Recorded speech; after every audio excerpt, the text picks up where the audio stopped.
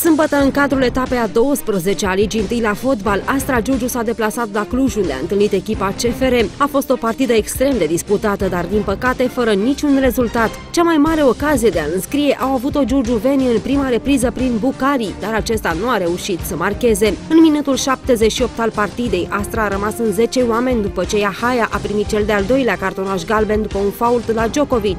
Aflați în superioritate numerică, clujenii nu au reușit să fructifice avantajul, așa că tabela de marcaj a rămas neschimbată până la fluierul final. Astfel, în urma scorului alb, ambele echipe au obținut câte un singur punct. În urma etapei a 12 Astra Giurgiu ocupă poziția a treia în clasament cu 23 de puncte la 5 puncte diferență de liderul Steaua. În etapa viitoare, care se va desfășura pe 3 noiembrie pe stadionul Marin Anastasovici, Astra Giurgiu va întâlni formația Gaz Metal Mediaș, aceeași echipă cu care va juca și în Cupa României pe 29 octombrie.